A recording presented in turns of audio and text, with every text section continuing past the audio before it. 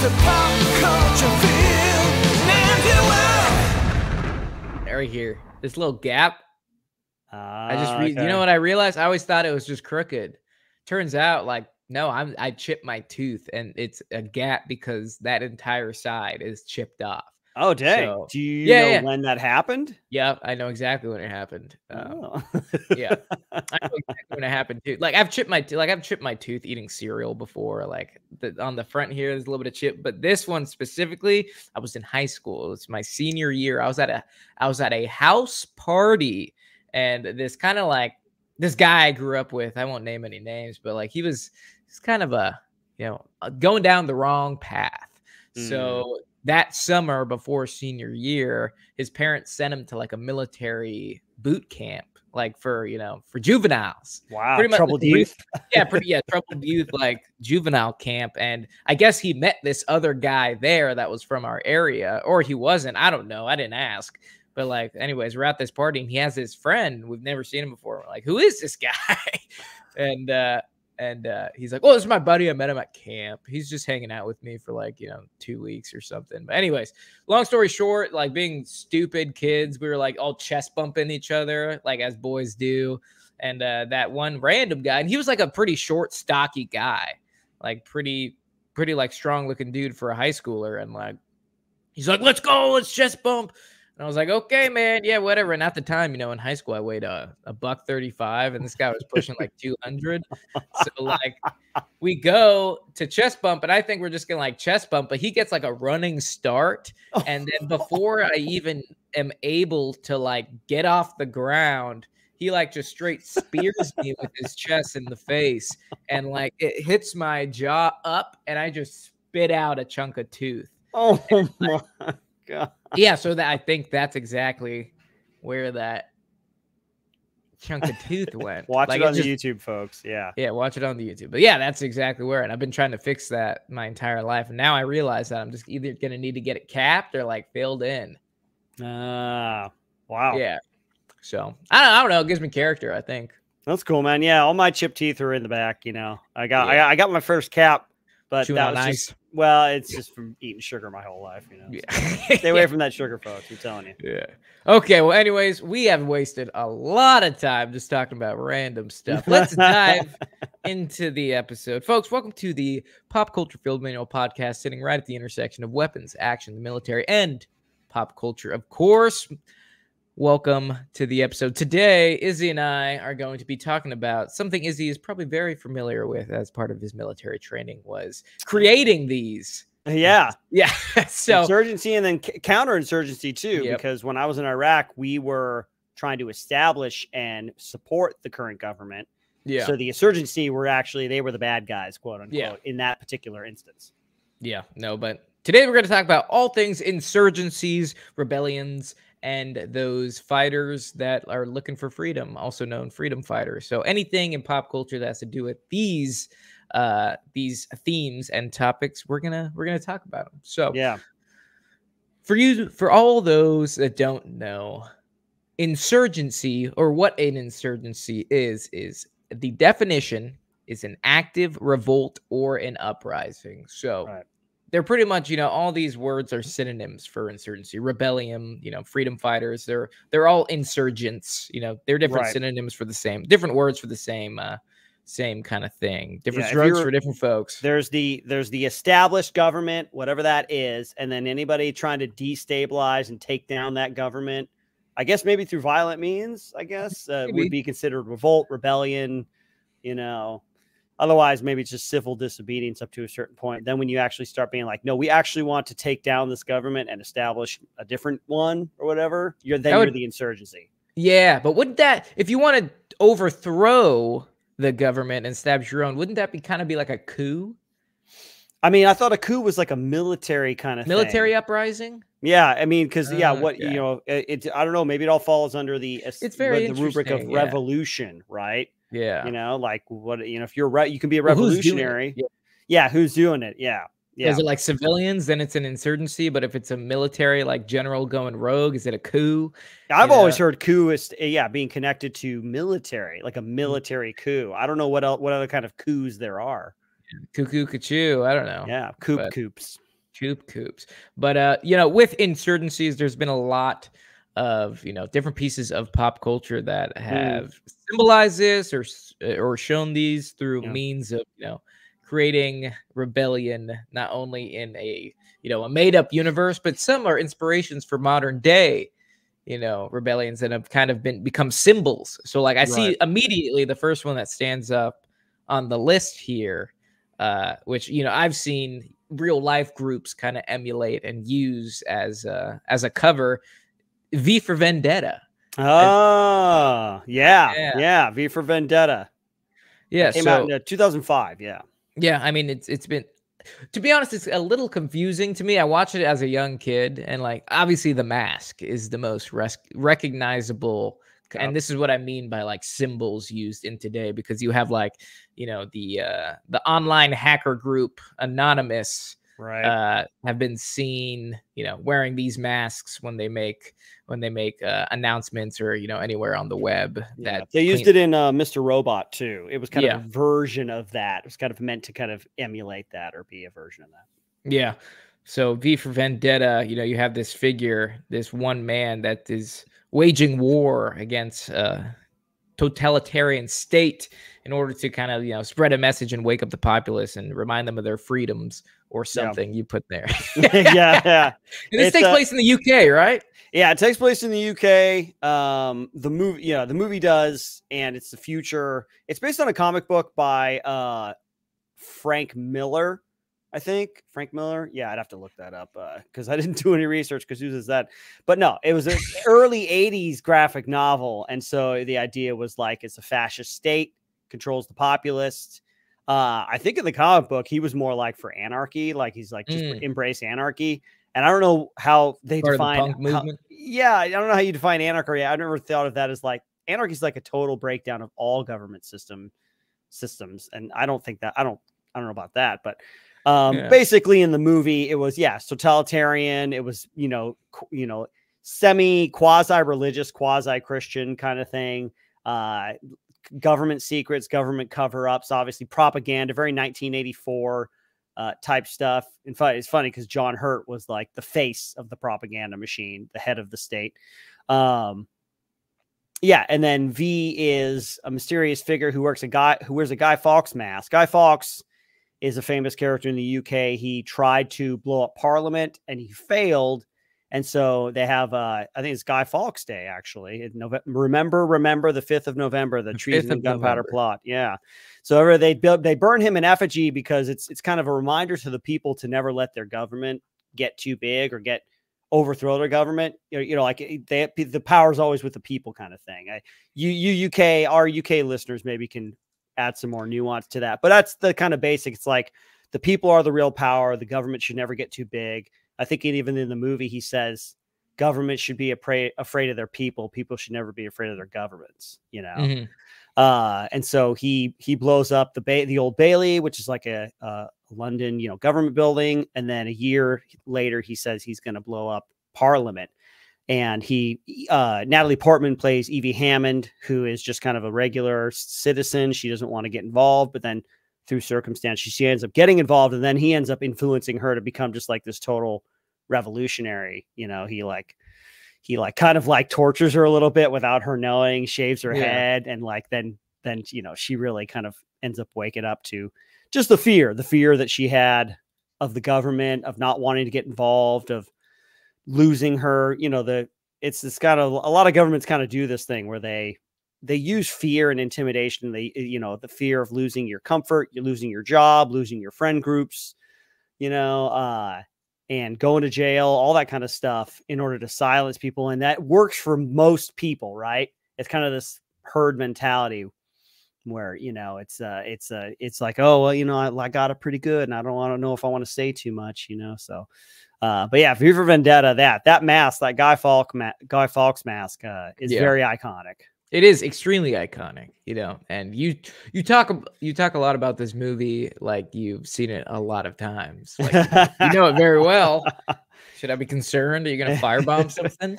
it's good, man. I mean, it's you know, it's good, and it's definitely one of those things like uh we can't do an episode like this without getting at least a little political. because- Absolutely. Yeah, Yeah. I've been kind of biting my tongue, you know, the past 150 episodes of this podcast. But yeah, no, you're you're absolutely right. Like I, there's a lot of really good themes in this movie that are, you know, extremely relevant today, especially in our current political climate when we have this um we have this crazy separation, this crazy segregation of, you know, the left and the right Yeah. and then you know then you also have the epstein flight logs and everything from the cla- from the case being being released and you're like oh my god these superpowers are you know they're you know they're evil like Yeah. Mm, yeah and it's yeah.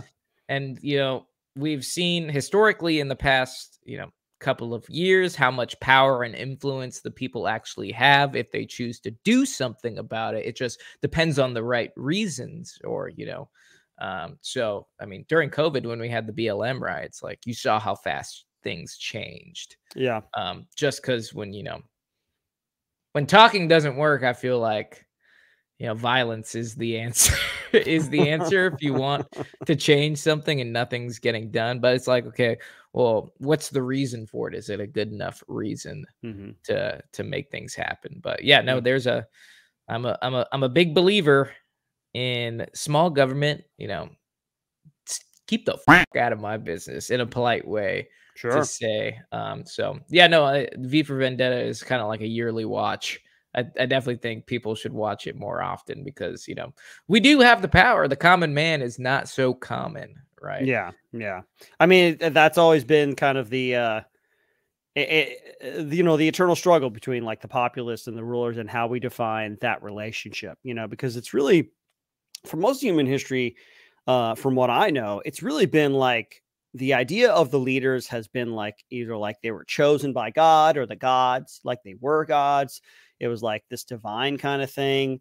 Um, and it was like lineages, you know, like birthright lineage, you know, like they deserve to rule because they were born into a certain family, or Mhm. like they've been ruling for thousands of years, so let's keep it going, kind of thing. It's only kind of more in the mo- quote unquote modern era that government started to revolution started to happen to be like, no, the power actually is derived from the people. Okay, what does that mean?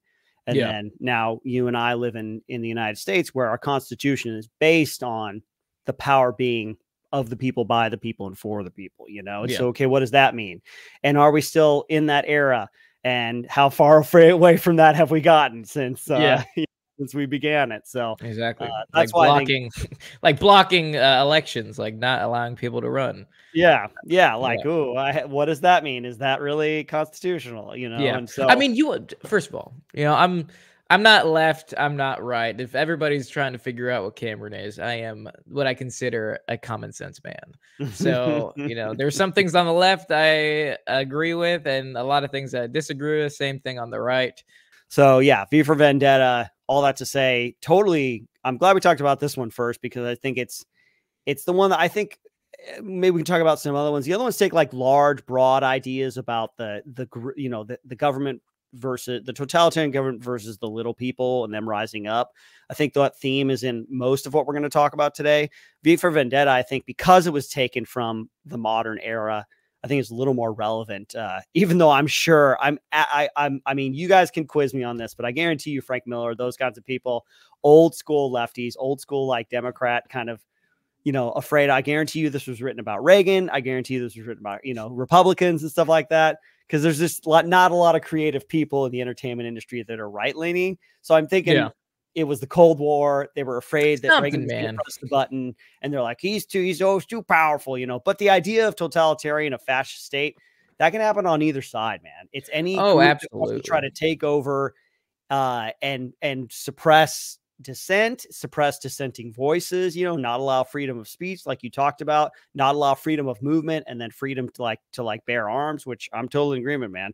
Those are the two fundamental freedoms upon which any successful society should be based. You know, Yeah. uh, no, because once you take those things away, man, people are just they can you can be controlled by the government because only the government's going to have guns and only the government's going to have speech. You know, Yeah. Oh, dude, total. And that's 1984. And Yeah. yeah, yeah, That's like that's step number one to uh to complete communistic to- totalitarianism uh, society. But absolutely, that's why they're listed. That's why they're number one and two, man. First ones Yeah. to get read. Yep. Uh, something. I mean, also like it's so weird looking at. You know, I'm not. I didn't take political science or anything, but I but I do enjoy my history and like seeing the parties switch how they how they started and where they are at today Mm. Like it was so interesting that like you know during the civil war like all the blue states were the red states today and all the red states were the blue states. And like you Hmm. look at like you know abraham lincoln was a republican. Uh he represented the Rep- republican party. And you know looking looking into it the kkk what everybody hates so damn much they were democrats.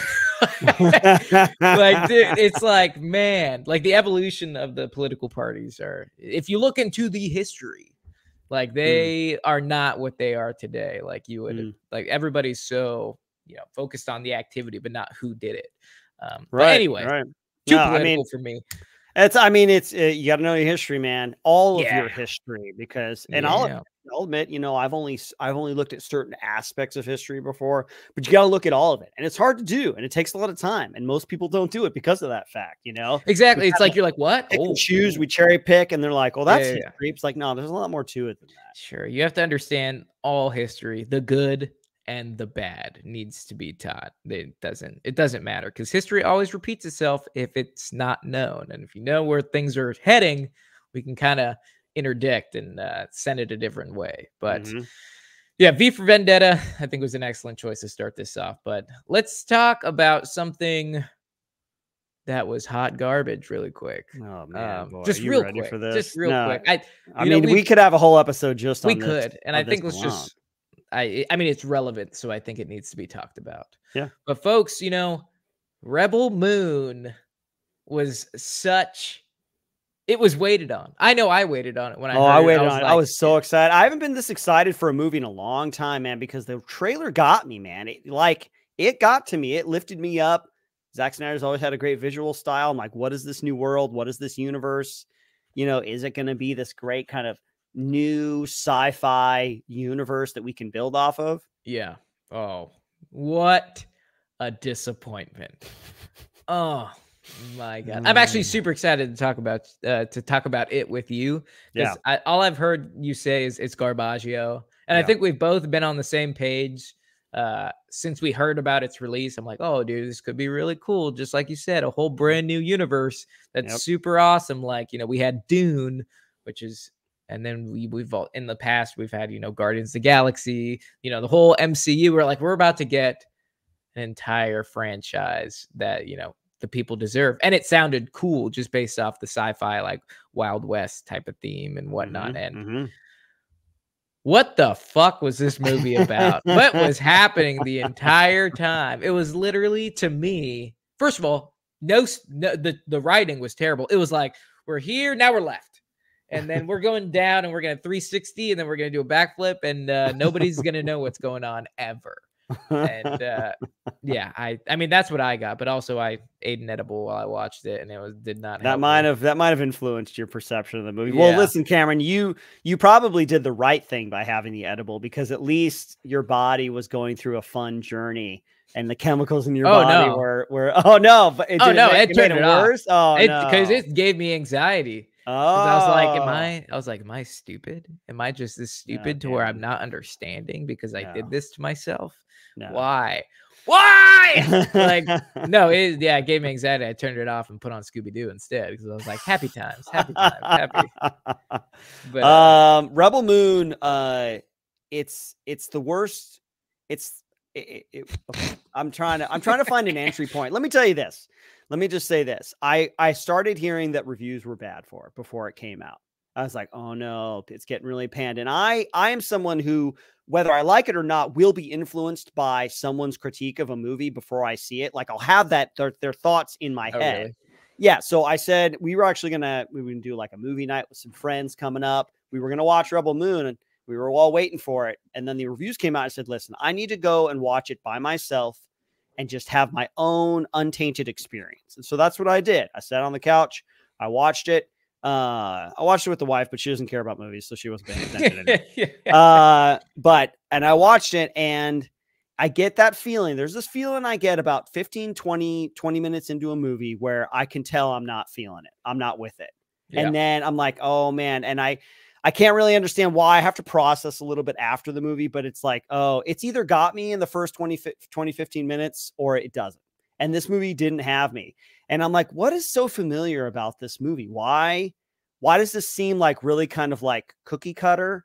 You know, because it starts out great. It's got that monologue by Anthony Hopkins, sets up the universe. You know, Yeah, the ship comes out of the space vagina. You Yeah. know, in the beginning. uh like really odd like make it a little more square or something but um you know he's like oh there's a and it's like this okay the emperor and then he was assassinated by you know now there's the the, The fallen struggle, king and yeah. yeah now the struggle and the new leader he sends out he sends out because there's rebellion right Yeah, rebellion there's to crush the rebellion. crush the- crush anyone who calls themselves rebel well then they go to this planet and it's like all of a sudden it's seven samurai you Yeah, know, it's like farmers and Seven. shit, you know? Yeah. Yeah. it's the exact same storyline as Magnificent Seven or the Seven Samurai, where there's a village, the bad guys come, they take what they got, and they say, We're going to come back. For some reason, we're going to come back in 10 weeks and take your harvest, right?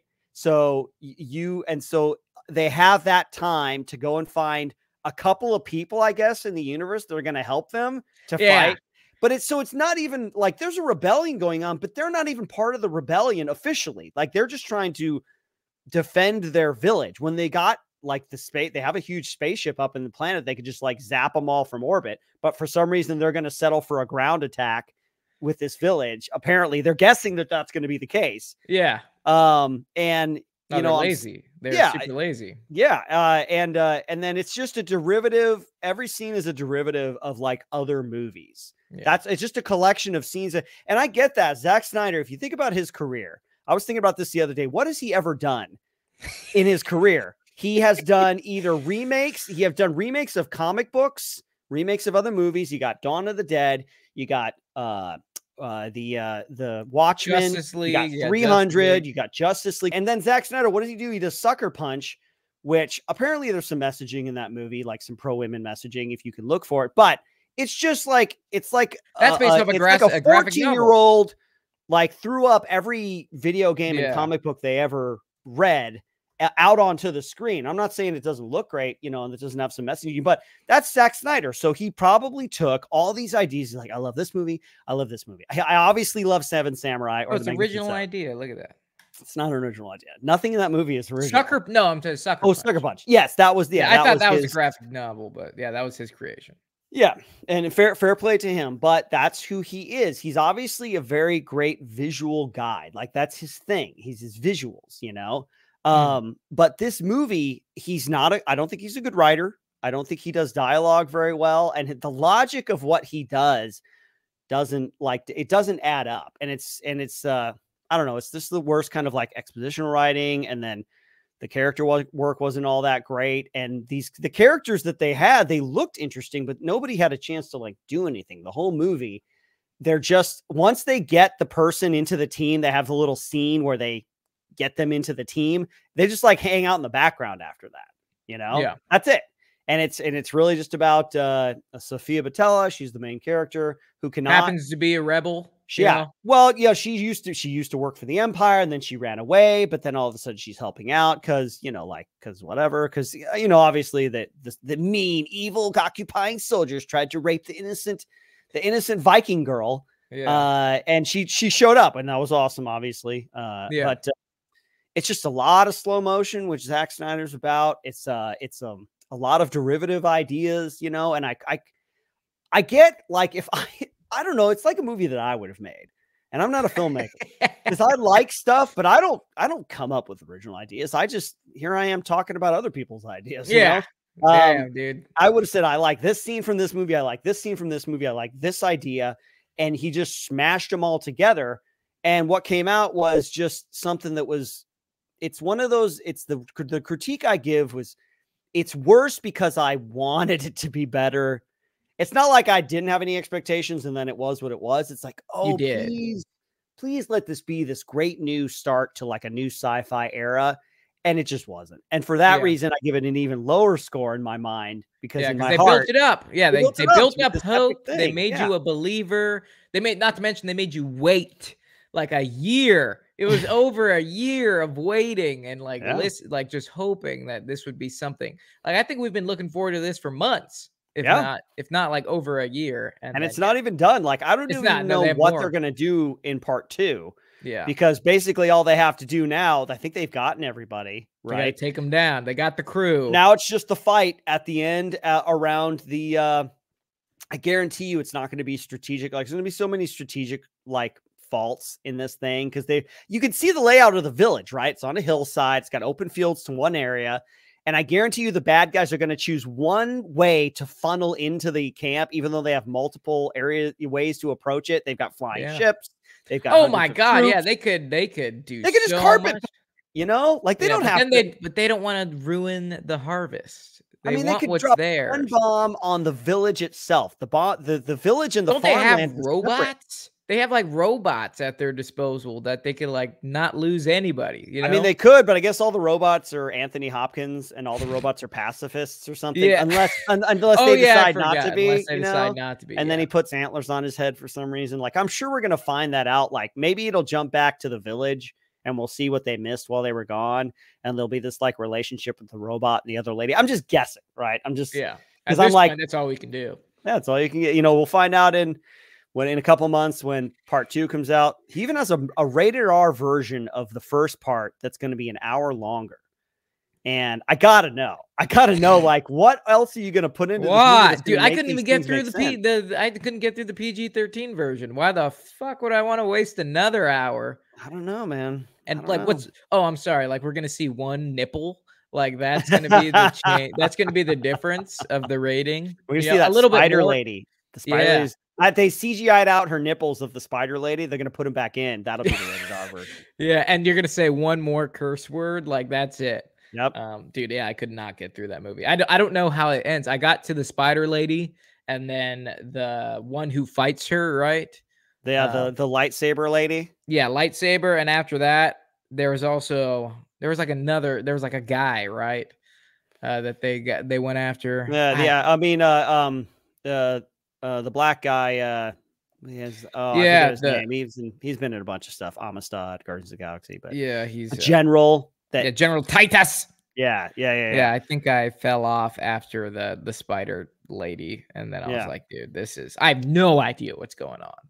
Yeah. So um, yeah, I just turned it off. But yeah, Rebel Moon, huge disappointment. Talk about you know a pretty sad insurgency. Um, yeah, yeah, yeah, Yeah. You know what? Let's uh, let's cleanse our palates because we got to put this one in here. If we're talking about uh, action, uh, you know, action, military themed, uh, all sorts of like classic iconic images. What Rebel Moon was a derivative of, and apparently Zack Snyder's original story for was his version of a Star Wars movie. So Star Oh. Wars is the yeah, makes classic sense. Empire versus the Rebellion. So the whole Yeah. You know, whether you want to call it the Empire versus the Rebels, or you want to call it the New Order versus what is it? The the, uh, the, what, not the Rebellion, it was versus the- oh man, yeah, in the in the new version, the, newer the movies, yeah, right? the new movies. It's basically the same dynamic. It's uh the uh the not the rebellion. It's the it's the resistance. The resistance. The was resistance, yeah, it's the the resistance. new yeah, the resistance. Wow, So uh yeah, because it's because who cares? Because it's Yeah. basically the same thing. yeah, who cares? uh, yeah. Who cares about it? But Yeah. no, yeah, the entire Star Wars franchise. If you like, put the Jedi themes aside, it is one hundred percent an insurgency, right? yeah, um, yeah. No, I mean, you have the rebels, intergalactic. intergalactic insurgency. Yeah, Yeah. man. Could you, I wonder, you know, because obviously, not t- taking a. What am I saying right here? What are you saying? what am I saying? Um, you know, taking a quick side quest from uh Star Wars, but like, you know, insurgencies, you know, when they start it, it has to take an extremely influential person or like idea to be able to start, right? Because like Mm, and thinking about the global war on terrorism, like you have, we were fighting Al Qaeda, which you know is a type of insurgency and Yeah. uprising for religious Islamic purposes. terror. Yeah, Islamic terrorism. So like, yeah. you obviously need to have such an influential message that, and I mean, if it's religious backed, um, like that, that's obviously a big factor. Like if you have believers that you know are ready to put their life on the line for what they believe, that's that's believable. But when you think about like these movies about insurgencies, about political ideas, um, you know, especially comparing it today, like we have everybody, you go on Instagram and everybody's complaining about how things need to change and, you know, Mm. how we are literally losing our rights and nobody, like, that's the extent of it, right? I feel like the worst thing that goes on nowadays is just people yelling at their phones and then putting it away and then paying their taxes.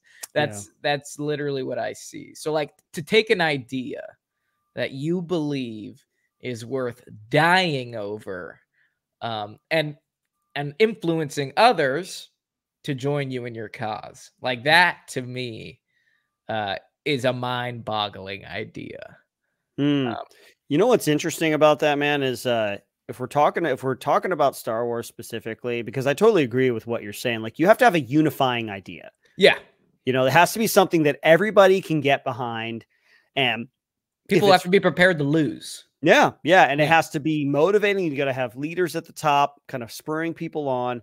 But Star Wars, uh, it's it's based. I feel like Star Wars, the originals at, at, at any rate, it was, and maybe the new ones too. But I'm trying to I'm trying to figure out the dynamic beyond just it's a totalitarian government, right? Uh, that uh, is ruled by the emperor, right? He dissolves the Senate. That happens in the beginning of episode four Yeah.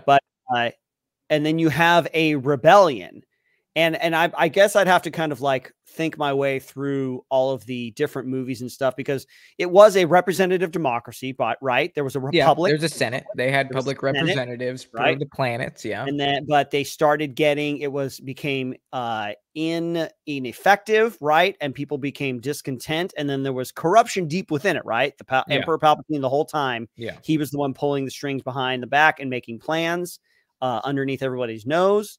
And just going up to the end of like episode six, The Return of the Jedi, it was basically so I guess the rebellion in Star Wars was it was fighting for the more republic republican for bat lack of a better term Yeah. a republican view of the government rather than a totalitarian or imperial or empire type view Yeah. you know, uh, expansionist kind of empire type thing.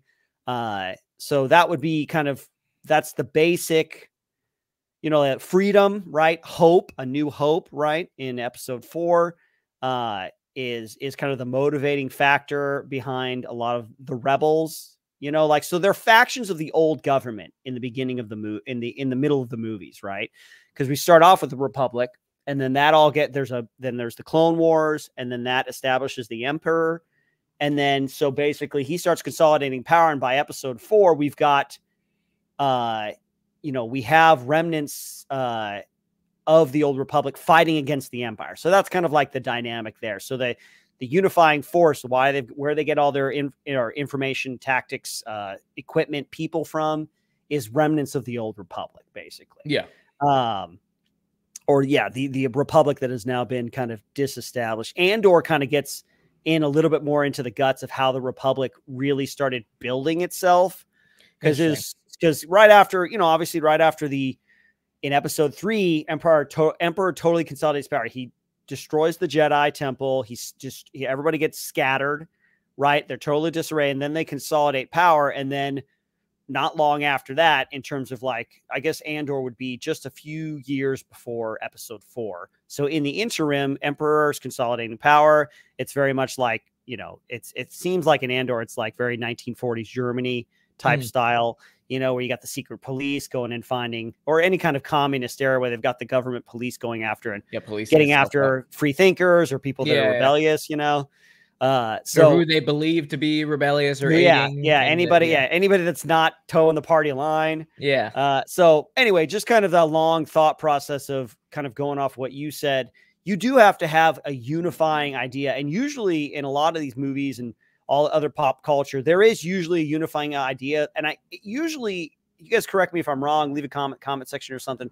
Um, it's basically about freedom, right? Yeah. It's the freedom to live your life outside of the confines of this totalitarian government that only wants power to come from one place, that only wants people to talk about certain things, that only wants governments tend to they're like animals, right? They or they're like blobs. They, if the more they consume, the bigger they get. It's like a big company or whatever. They they exist to consolidate and advance their own power. That's all Yeah. they really exist to do. Everything functions for the sake of the party, right? Yeah. I think communist China is like a great example. It's like they may be cap, they may have like capitalistic tendencies, but yeah. everything is designed to uphold and uplift and advance the party, the Yeah. people. No, I mean, people i feel like people differentiate or they they combine governments and say like you know between the market like the economy and the how the government runs i think a lot of people believe that they are one so like Mm. like for china for example they have a capitalistic economy right so they have they very they follow very capitalistic uh marketplace rules but when you look at the government that's communism so people are just like oh china you know they're capitalistic and it's like no their market's capitalistic how they make money is capitalistic but how, how they how they establish rules and regulations is communistic like Yeah, and I and honestly, man, I don't think that they're even all that cap- capitalistic when it comes to even the functioning of their businesses. Like I've hmm. heard people, I know well, friends. there's a lot of big government rule over yeah, and you have to have certain rules in your company that Yeah. are in alignment with the Communist Party. And so I had a buddy of mine who uh, he had a business in China. He's not a Chinese national. He tried to leave the country. Banks just kept his money.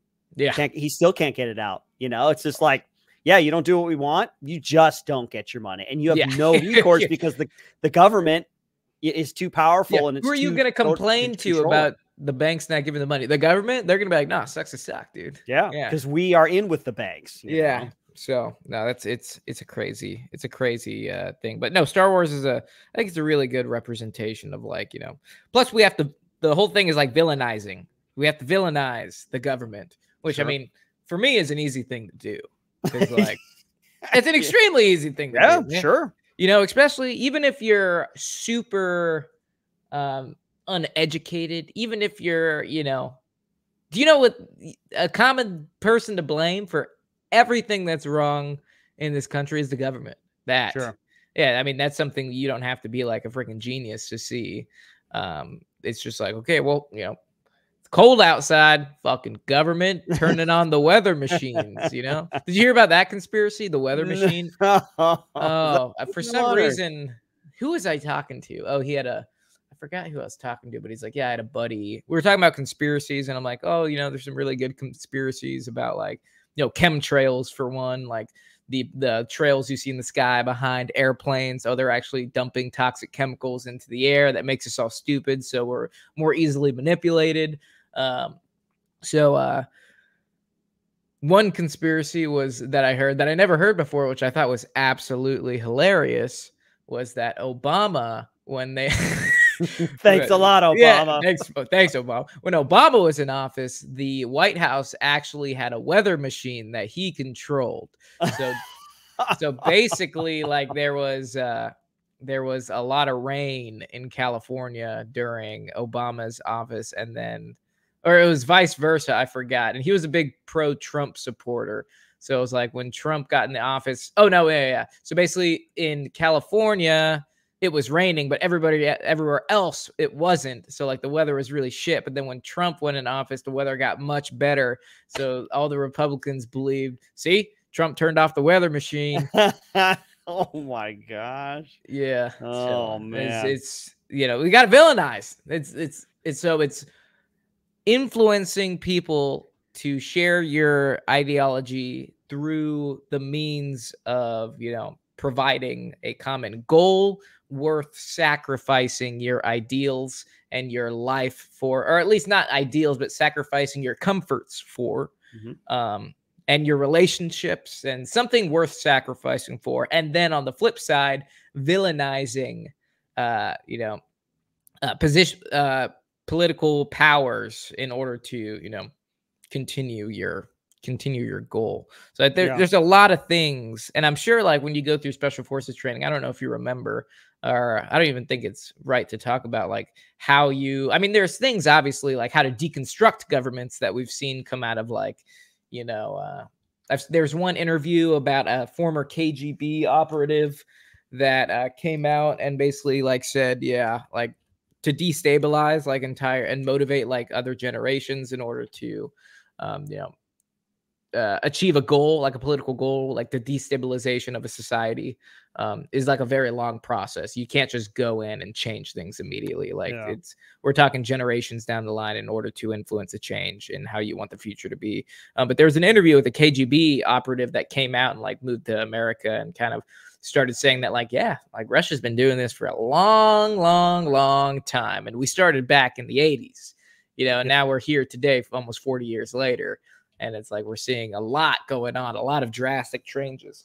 Um, so, like these these insurgencies, they're not just Yuri Bezmenov. Yuri Bez. Look up, everybody. Look, Yuri Alexandrovich Bezmenov uh, claimed in 1984 that uh, Russia has a long-term goal of ideological subversion, subverting in the United States. He describes the process as great, a great brainwashing that has four basic stages. The first stage, he said, is called demoralization, which would take about 20 years. It's it's one of those things where if you go and you watch, I've watched some of this.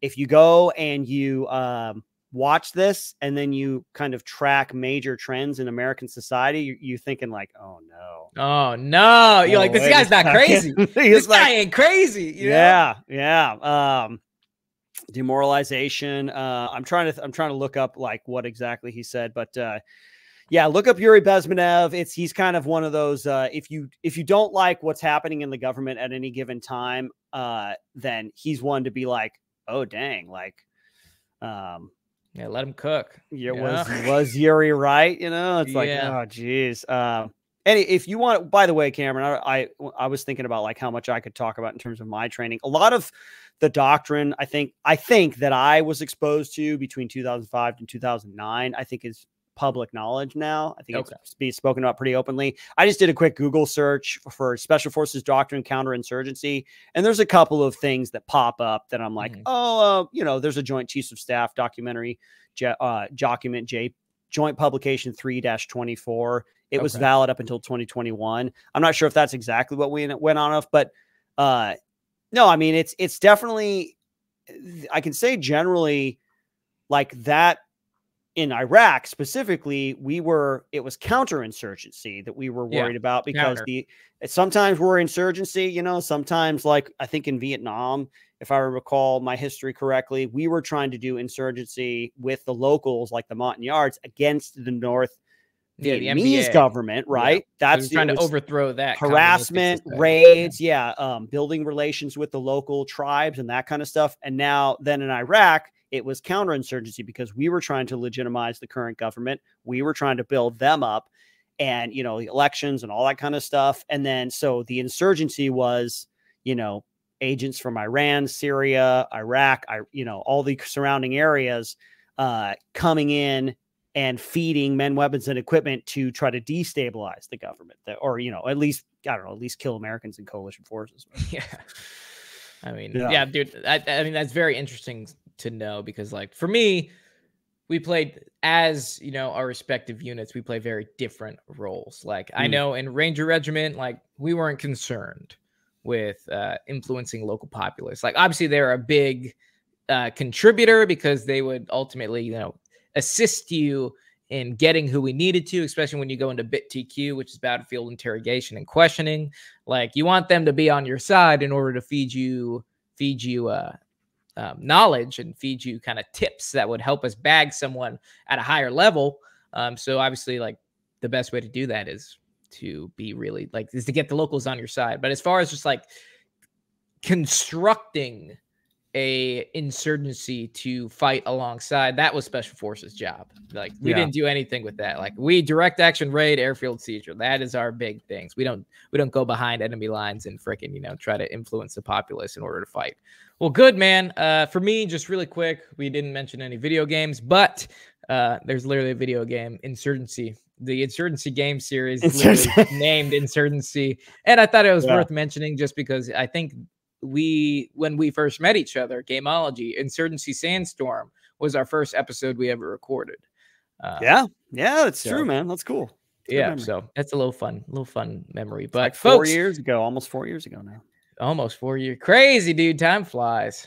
But uh, let's do that's that's gonna do it for uh, this discussion. Um, like as he said, we're probably gonna have to do a part two because we didn't even scratch over half of the ones we had uh, written down here. But we have a fan question, and this fan question comes to us from Dylan Grimm via email. And uh, Dylan wants to know if you could swap places with any character other than the main character in your favorite movie, who would you swap with? Oh man. Okay, so a major, a character from a movie, but not the main character. Not the main character, and you have to swap with them. Hmm. It's a good one. It's a good question. Ooh. I mean, I guess it depends on who you call a main character. Because if it was like Star Wars, you know, I'd want to be. I mean, I'd want to be somebody that lived. You know, uh, I like. I'd love to be like. I guess Han Solo is considered a main character. Yeah, I Uh, would say but, so. uh, yeah, I'd want to be like a Jedi. You know, to be a Jedi in the days of like the High Republic. You know, so uh you know but they all they all freaking die man most of them do die. i'd love to be uh it's not a movie but uh what's his name cal kestis from the jedi series the video game series uh Yeah. fallen order and jedi survivor he's a pretty Yeah. cool dude but he's a, he's the main character so i don't know Hey, that's tough what do you do you know who you would pick i'm having a hard time man i mean amg but he's a, i guess he's the main character too Yeah, no, he is. Oh, that's a great question. Uh, honestly, I would love to like probably switch places with not a main character, but uh somebody in the John Wick universe that like isn't John Wick, but is still part of the Assassin Syndicate. yeah yeah Um, let's see, like the the guy with the dog. Like he's not. A Nobody? is would you consider? Yeah, nobody. Would you consider him a main character or like a supporting actor? I guess you could. I guess he he makes the cut for supporting because it's it's he's not in it all, all the time. He has some parts to play, but Yeah. uh, he's not the main dude. You know, I Yeah. think he's more So, like, supporting cast. Yeah, so for me, it would be like nobody. I'd like switch place with nobody because obviously, I will. I'd love to just like mess around in that universe and see what it's all about.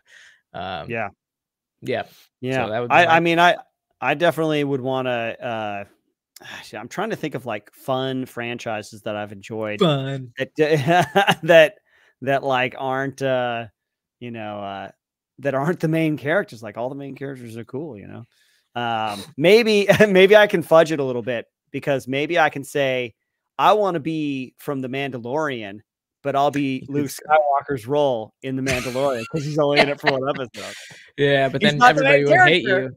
In that but then I- series Yeah, I'd never visit you on your island because I'm like that dude's just an that dude's just a grouchy old man that's not no, no, contributing Mandalorian anymore. Skywalker's still cool. He hasn't become embittered by life and written by by Oh Rian yeah, he's still young. He's still young Yeah. and doing you know Highly somehow idealistic. being a Jedi master with minimal training. He's still good. Yep. Yeah. Yep. So So he hasn't Okay, failed. yeah, He's that- not a bitter old white man yet. Yeah, not yet, not yet. Just mad at the world for you know, it's crazy for Tiger Woods. Um, so all right, we All are, right, we got a to game. To play. We got a game. I I'm the game it. master. Yeah, but I got it here right. for. Before we do it, folks, I just want to say if you're liking what you're hearing, folks, we got a bunch of great content for you on YouTube. We got First Formation, uh, a weekly, uh, weekly uh, bits of pop culture that I'm excited for, things that I'll talk about on Monday, and then uh, every Friday you got the debrief where Cameron is rolling out some fun tidbits of military news. So that's on the YouTube channel. Come and join our Patreon, folks. Uh, we get extended episodes of everything. Uh, uh, extra episodes on the second tier and then live streams every month. Uh, and uh, yeah, we got a merch merch store, all sorts of good stuff for your perusal. And folks, if you want to hang out with me a little bit more, shameless promotion for my horror gaming channel, the Is Files, with uh, some more channels on the way and in the works and behind the scenes. So uh, that being said, let's do our game. This All game right, is called. Are you ready, Cameron? This game is called Rebel I with a ready. Cause. I hope you're ready. Rebel with a Cause because what good rebellion? What good is a rebellion if there's not a reason for it? I'm going to give you the name of a real or fictional rebel group, and you tell Okay. me where it happened, meaning where on Earth or in what fictional location this occurred. Bonus points if you can tell me why they were fighting. So this is you just tell me. I'm going to give you the group. You're saying, "Oh, this is in this," and then if you want a bonus point, you say, "This is why they were building. So Oh, The warm-up- This might be super hard. Like this could be really hard. It could be, man. It could be. I I think you, I'm looking at it. I think you might be all right depending on the uh, which franchises you're familiar with. But the warm up should give you an idea. The warm up is the Rebel Alliance. The Rebel Alliance is obviously in Where- Star Wars. Where in why.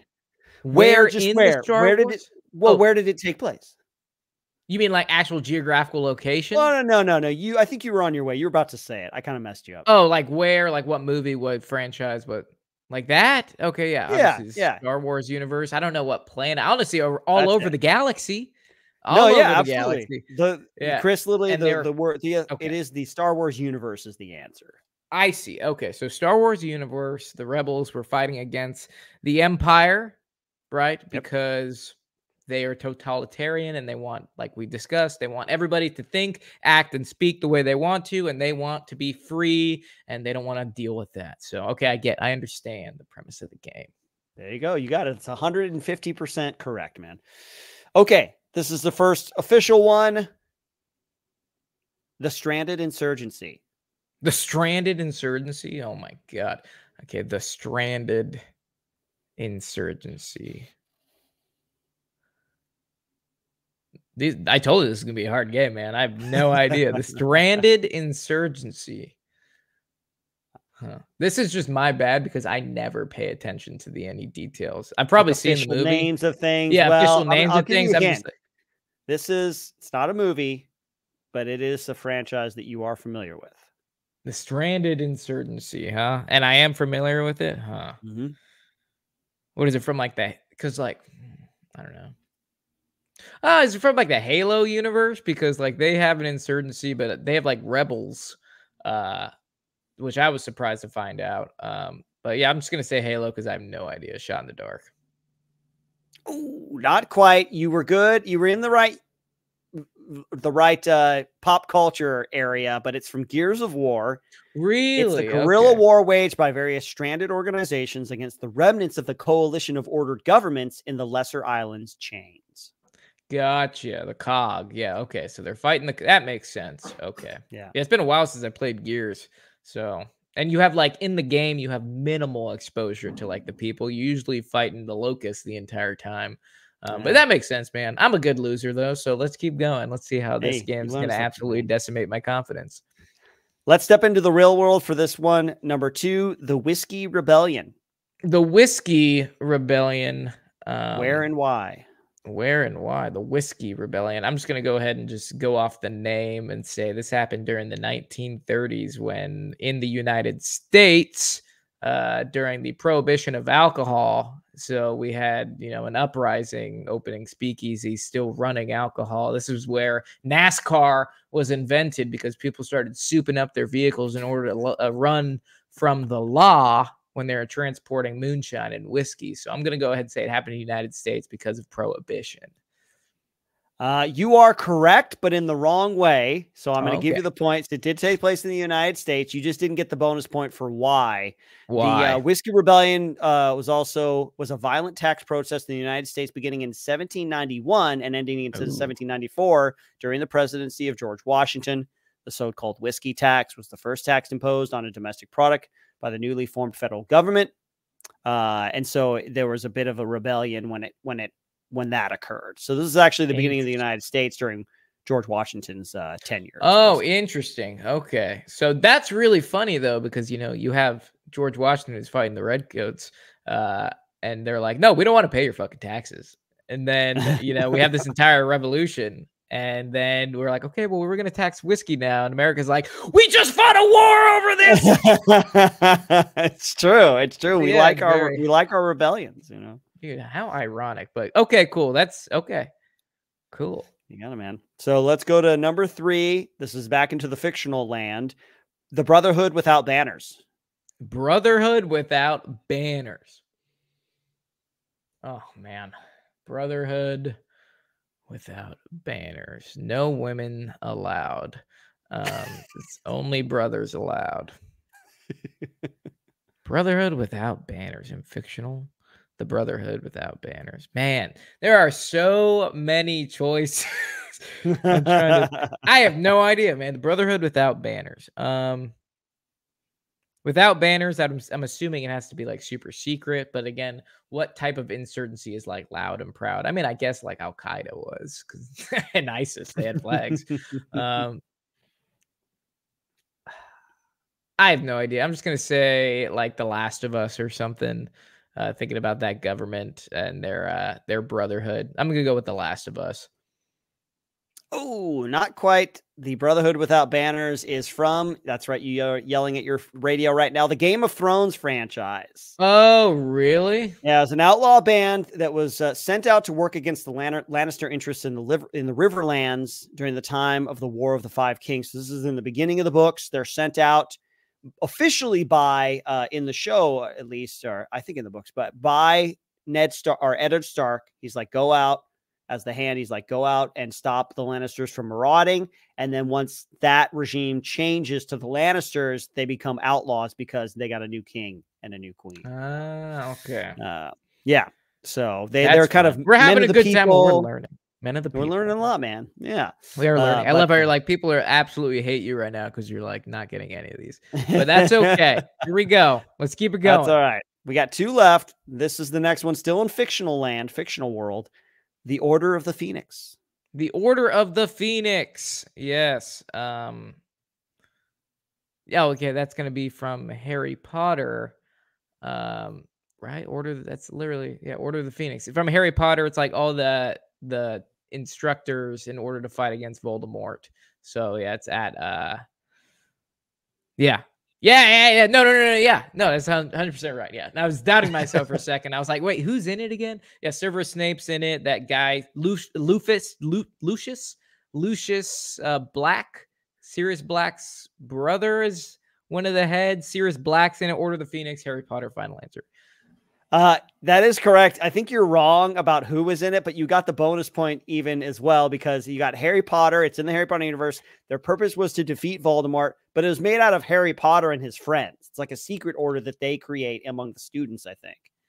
Really? I actually don't. I yeah. I can't. I mean, Chris put it in there, uh, but uh, and I have only no, seen no, no. of the movies. I here we You go. are? Literally, the original Oh. members of Order of the Phoenix include Sirius Black, Emmeline Vance.